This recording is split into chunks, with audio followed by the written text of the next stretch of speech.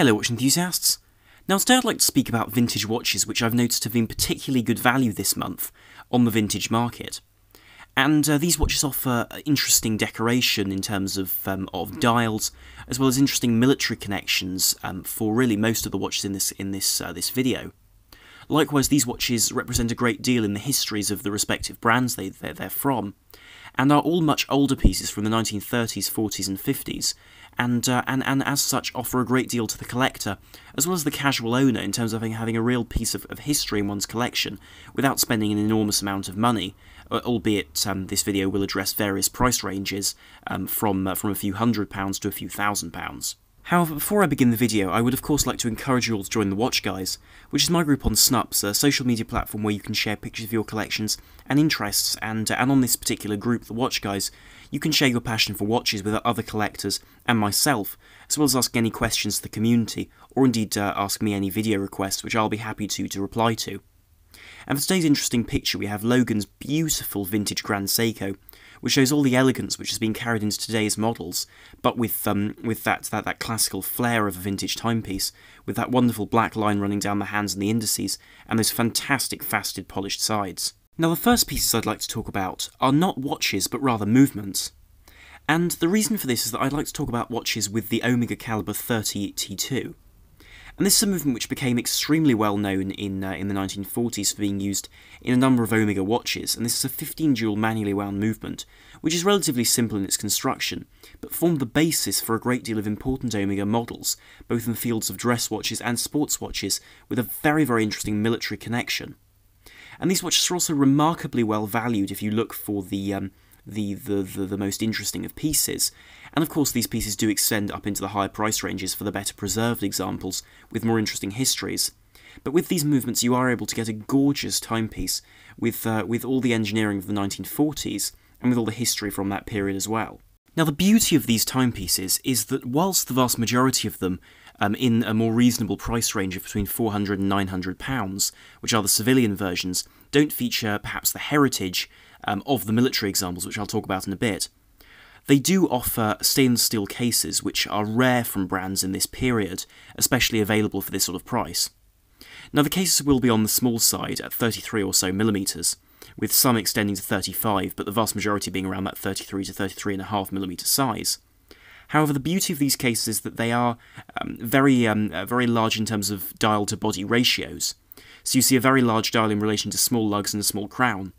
and what this means is they appear much larger on the wrist than they would otherwise, and so have a, a wonderful compromise between a small watch for smaller wrists and a large dial for those who like a, a more significant watch on, on, on, the, uh, on the wrist. The display of these watches generally comes in two versions. Some versions feature the small seconds placed at 6 o'clock in a very traditional sort of arrangement, whilst others feature central seconds which are, are, are hard to come by and more rare, However, there's a great variety in different styles of dials, from matted silvers um, all the way through to very nicely patinaed creams. And so it is, it is worth looking around, though of course it is worth uh, being careful for refinished dials. And though refinished dials aren't the end of the world, especially at this price range, it's for, for those who are interested, it is worth keeping an eye out, because sometimes they have been fettled with over the years. Um, and it, this does depend on how you feel about a watch. If you can get a watch for a very good price, then personally I wouldn't worry too much if you can guarantee the rest of the watch is, um, is, is all correct. However, of course, it is worth noting these things that with all vintage watches, you do have to be careful because sometimes um, these aspects have been tampered with. Now, a lot of them featured uh, featured luminescent hands in the day. Now, these will no longer be luminescent um, today, um, although some some uh, radium versions um, may well have a certain glow to them. Um, the vast majority won't have any glow left, which is by no means a problem. Whilst the script for Omega is that very simple old-fashioned style from the 1940s, which is highly charming, as well as the um, the, the, older style of Omega symbol, which uh, which I personally find extremely attractive. If you're willing to extend into the higher price ranges, then some gold-cased versions are available for between about about £1,000 and £1,700 to £1,800. These versions often feature golden hands as well, and these can often be seen as leaf-style hands with, um, with more Art Deco styles of numerals, which in my eyes are very, very beautiful and actually constitute a very interesting timepiece to own, as well as the fact that the uh, the gold will generally um, have um, have less uh, less surface uh, pitting in terms of corrosion as a result of it being a, a far less reactive metal. and of course this does add a certain lustre to these watches, which the stainless steel models simply won't have. However, if the civilian versions of these watches are seen as interesting, the military models are fascinating. These pieces constitute really the, the, the birth of the military field watch, and are, are, a fantastic alternative, as has been pointed out, in fact, by uh, some members on, on, on the Snupps group, as a wonderful uh, alternative to buying a vintage Rolex Explorer, for example, a 1016 reference. And these models feature, again, stainless steel cases, but they feature a few uh, different features which are worth noting before buying one, but if you can get hold of one in good condition, can be absolutely tremendous to own. Firstly, they generally feature black dials instead of the cream ones, simply for added legibility. Additionally, there are a lot of models with uh, with far more clear indices between um, uh, between larger uh, five-minute markers, which allow you to be able to judge the, the minutes far more accurately as would be needed by, by someone in the armed forces. Additionally, the crowns tend to be larger, and the, and the, the lugs are elongated to provide uh, extra space for a thicker strap. Also, on many of these versions, there are fixed lug bars. Now, these can be a bit of a pain if you like to, to swap out straps quickly and easily, but you can buy straps, for example, from Colareb, which feature a fold-over set setup, where you fold the strap over around the, the fixed bar and then pin it with, with pins already mounted to the strap. Of course, this shouldn't be an issue if you're already wearing the watch on a single-piece leather or NATO strap. Now, these watches often also feature the markers um, in order to denote their military um, uh, position on the dial in, in, the form of an arrow, which, uh, which shows their use by the British Armed Forces. Additionally, a lot of these watches feature that on the caseback or on the inside of the caseback as well, which can often be a better judge of these watches, um, because that's more difficult to, uh, to duplicate or, fake. And of course, one has to be even more careful with these watches than with the civilian models, but if you can get hold of a really nice one, these should set you back between £1,400 and £3,000, which means that you're able to get a, a, an incredible piece of history for a fraction of what a Rolex Explorer from, uh, from a later period would cost. Now, the next watches I'd like to talk about are from Jaeger-LeCoultre. And JLC produced a number of watches through the 1940s, with, uh, with the early 1940s models during the war being primarily plated base metal. So they had a chrome finish, which by now has worn off on the vast majority of these watches, and dark dials. And the dark dials were there really because these were used by a lot of military forces on both sides of the fighting, um, and similarly the, the, the, luminescent indices and, uh, and hands contributed to that as well and they have a very military look to them in terms of having those um, those diamond-shaped sword hands, which are clearly full of luminescence. Um, and uh, though today won't function in that way, back then were, would have been uh, highly uh, highly useful for a military um, uh, for a soldier, for example, to be able to glance at the time. These versions are very often powered by manually wound movements, um, and the war ones are always powered by, ma by manually wound movements, um, such as the P478 being one of these 15 jewel movements, which was comparable to some of the Omega manually wound movements of the era, with the small seconds at 6 o'clock and simply having the, the time on, on the, uh, the dial, because of course watches didn't have um, uh, automatically changing dates at this stage. And these wartime black dial versions offer really the closest you can get for under a thousand pounds to one of these uh, these military timepieces or Flieger timepieces, in fact, used by pilots which is something really fantastic if you're, you're interested in collecting these watches. Um, but, uh, but of course, for a daily wear, I wouldn't necessarily recommend wearing one of these plated models, just for fear of damaging the surface, though this is a personal choice. I myself personally would be a tad concerned about wearing one. However, luckily enough, post-war, they produced slightly different watches which are also very, very appealing. Now, post-war, these watches made a transition back towards being primarily made out of stainless steel and this is certainly visible on the vintage market because those produced post-war feature both lighter dials, as they, they no longer produce these military dials with these dark colours, but rather move towards reusing that style of hands with those luminescent lozenges and those Art Deco style of numerals, but now featured central second hands courtesy of their P478 movements. But in addition to that, they also uh, added uh, a slightly different uh, aspect to these watches, notably the new, uh, for 1946, JLC 476. And this movement marked uh, a significant change for the brand, because this movement was their first automatic movement, and it was a bumper movement, so it didn't have a, a freely rotating rotor, but rather had a piece which would bounce backwards and forwards off, off springs as a sort of a bumper and as a result, these uh, these watches are rather interesting and, and provide something very different. Now, these, these watches in this sort of range can extend up to the £1,500 mark in stainless steel with that automatic bumper movement, which personally I think is a wonderful piece of history to have on the wrist, and something very different to what you would normally be able to get hold of, as it really is revolutionary, yet remarkably affordable by comparison to other luxury goods from JLC. And as a result, these really beautiful little pieces at 33mm provide a really wonderful idea as far as uh, collecting vintage watches, and if you know how to look for a refinished dial with the various um, uh, various examples of areas which have been touched, then these can be brilliant pieces to, to search for because they're something completely off the beaten track, very different and unique depending on which model you're able to get hold of. Now the next two watches in this video are fundamentally fascinating in terms of their lineage and what they've produced in terms of design. And the first of these two is the Hanhart chronograph and these watches were made in both the 1930s, the late 1930s, and the 1940s, and were not issued by the Luftwaffe to, uh, to German pilots, but rather were bought by a lot of German pilots to be worn in the cockpit. And whilst the, the darkness of this period in terms of history is, is very evident, it is still very interesting to see horology's path during this time. And these watches became very famed as far as being uh, being watches of choice for, for pilots, because they offered multiple different styles and uh, came with uh, plated cases. You can see the vast majority of modern um, uh, modern examples of these watches, um, which which still remain from that period, um, have that so that plating completely stripped off, and you can only see the base metal underneath. And this is something which uh, I think you just have to get to grips with if you own one of these. But they feature a very interesting set of design cues, which in many ways formed the basis for the military pilot's watch which we know today. The general design features of these watches are very clear, with a knurled external bezel with, with a, a single red marker on it to act as a, a sort of a timing bezel, a rudimentary timing bezel, as well as cathedral hands which were luminescent in the day. And then a lot of dials also featured luminescent uh, numerals painted around the dial, though a lot of these have been refinished, and, and that is something worth being careful of, um, because uh, some of these are, are quite clear redials or, or repaintings of the dial, which I, I must say I don't particularly condone. Um, but as a result, uh, this is very much something which uh, has to be chosen by the, the, the buyer themselves. They also feature a bicompax layout of having the running seconds on the left hand side of the dial and the chronograph uh, minutes on the right hand side. Furthermore, these are controlled by, uh, by a, a, single pusher or two pushers. The single pusher models act as a monopusher arrangement where the, the pusher starts, stops, and resets the, the chronograph, and these were the earlier versions. Later on, however, we see a, a separate style,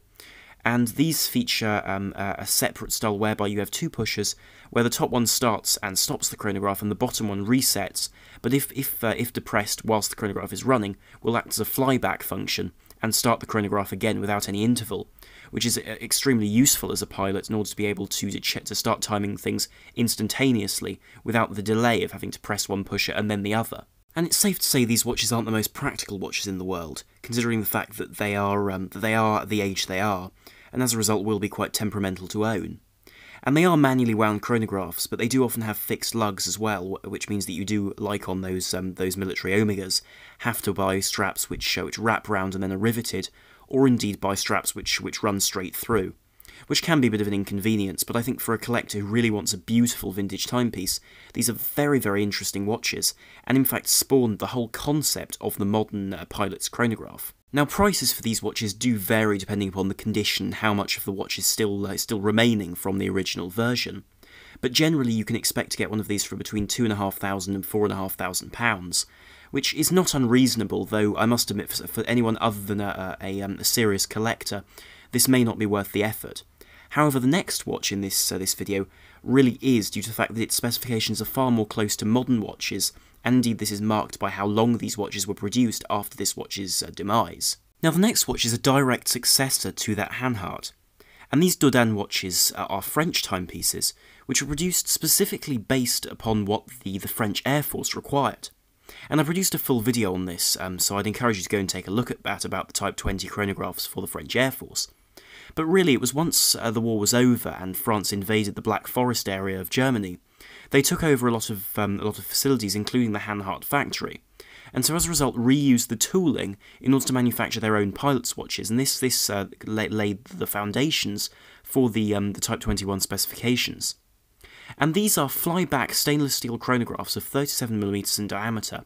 with a, uh, a slightly adjusted uh, style, bearing in mind their Type 21s, which meant they had a different bezel, as well as uh, various other changes to the general build of the watch, in order to be better timepieces as a whole. Now, the price ranges of these watches are very comparable to those uh, those Hanharts, and though they don't have quite the history if you're interested in Flieger watches from uh, from the German Air Force, they do offer a great deal else if you're interested in French aviation, because these were very much at the core of French aviation throughout the 20th century and not just in the 1950s, which is something brilliant to see, and the fact that to this day Dodane still produce a variant of this style of watch, albeit with a different movement, though still uh, adhering to those original specifications.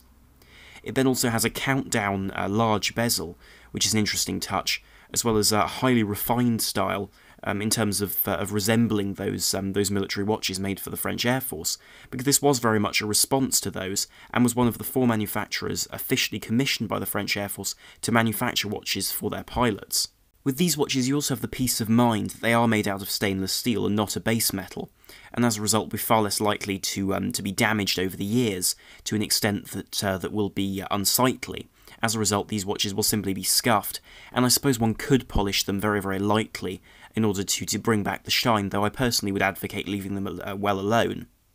But these are really beautiful watches, finished in a way which is truly military. They are designed to be to be technical products, and will feature, if you get a, a military model, will feature all the necessary numbers on them to identify these particular individual timepieces. And as a result, these are incredibly personal and very interesting military pieces, which come in at a similar price range to the, the Hanharts, um, which is again very interesting. And the, the design cues are clearly carried over from those timepieces and are seen in these uh, these brilliantly made and and wonderful looking manufactured watches made by a, a family manufacturer that still exists to this day. And so in truth these watches make a very interesting alternative to a second-hand or used Breguet Type 20 because these allow you to have that same aesthetic, but with a more refined style, as well as, strictly speaking, a more evolved style, as it was the, the, the following specification to those Breguets. Additionally, these watches um, are pieces which were genuinely used, and you can get a piece which was actually used um, by by the Air Force, which is a tremendous thing to be able to get hold of for this sort of price range. And so, as a result, I think these are fantastic options for someone who wants something a bit more expensive, um, but with incredible military history and uh, and a really wonderful lineage of of pilots' watches. These final watches I'd like to talk about are by far the most conservative watches on this list and these range from between £2,000 to £5,000 and are of course the Rolex Oyster uh, bubblebacks. And these are Oyster Perpetuals from the 1940s,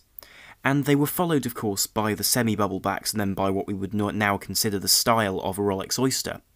But these show early designs um, towards that, that, that iconic design that Rolex took up, which I feel are, are unique on the market and beautiful in their own way. Now, these watches feature a stubby design with um, diameters between 31mm and 34mm, depending on which year you get. And these come in a variety of different dials, and especially with these, you do have to be very careful with the dial refinishing, because pieces like, for example, the scientific dials are often um, uh, more sought after, and as a result, uh, um, there can be a certain amount of foul play when it comes to, to putting a dial in a different case. So one does have to be careful in this respect. However, if you can get hold of a nice one of these, they offer you a wonderful aspect of a vintage timepiece, but with all the security of design of a Rolex. And in truth, the naming of these watches is very simple. These watches really were simply named because of their casebacks, which extended highly out of the, the back of the watch to accommodate the winding rotor, which now was used to, to power these, these Oyster Perpetual movements. And of course, their design is reminiscent of a modern Rolex, certainly, with that particular style of lug, as well as the, the flat bezel and, uh, and the mounting point for the straps, as well as the crown protruding. But interestingly, they have hoods between their lugs, which uh, which mount onto the bracelet and, and do resemble some of the strap variants of um, of modern uh, Rolexes through those um, those semi end links.